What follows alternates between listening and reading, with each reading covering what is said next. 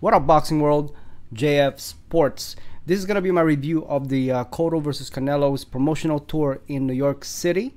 It was held in hotel, and like I said yesterday, in my review of the Mexico City promotional tour, New York is gonna be pro Cotto, and indeed it was.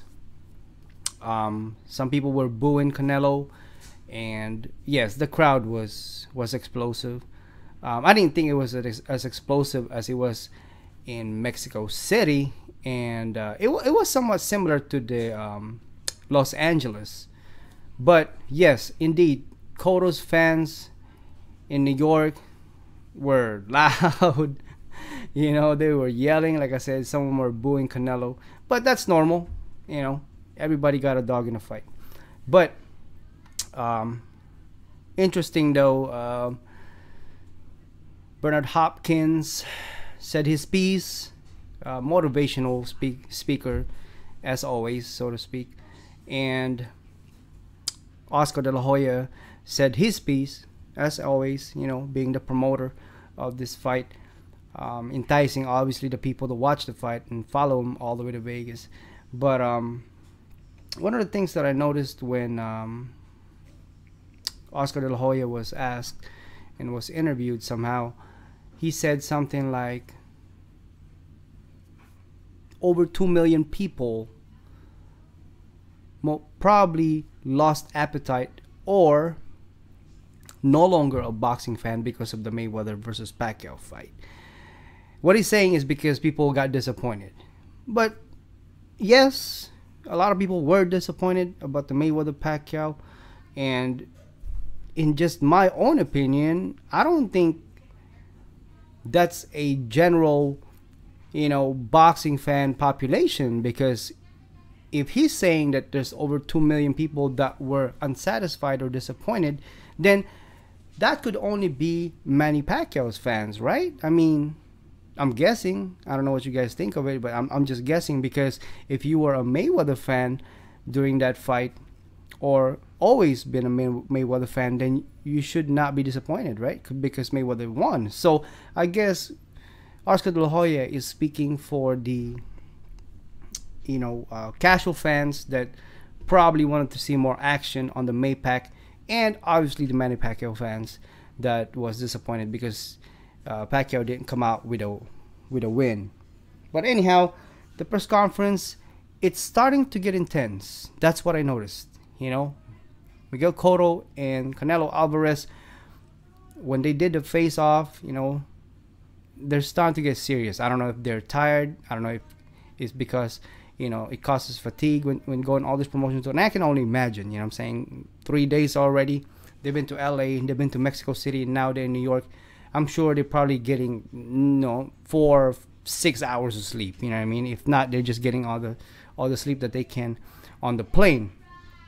But yet, but the the face off and their stare down, it's starting to get serious. You know, I was comparing it from the Los Angeles promotional tour to the Mexico City one yesterday, and today, they, like I said, I don't know if they were tired or whatever, or they're just exhausted already from answering questions, you know, press conference, interviews, all of that. But I saw some changes. I saw some differences from the LA and Mexico City. Today they got more serious. They got one more tour tomorrow. They're going to Puerto Rico. I'm imagining that while I'm making this video, they're probably on the plane right now. So, but anyway, it, it was okay. You know what I'm saying? It, it was a good uh, press conference. It was definitely, definitely pro Miguel Cotto crowd, as people already expected at. But um, yes, you know, fans are, are definitely following Cotto versus Canelo all the way through.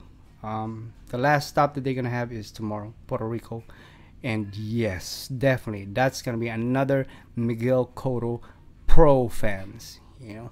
And um, you know, Canelo was humble, humble. You know what I'm saying? It's, he didn't make any aggressive move or aggressive speech, so to speak. Uh, basically, thank everybody, and so did Cotto. Um, you know, not, no fighting words there, no insulting. You know, like the other press conferences that we've seen in some fights. But um, it's pretty. I wouldn't say mellow, but uh, okay. It's an okay press conference. You know what I'm saying? It's all about the fans, and like I said, I think people listen more to Oscar De La Hoya and Bernard Hopkins because of their speech, you know, of their powerful uh, words of speech. So, uh, you know, it is what it is.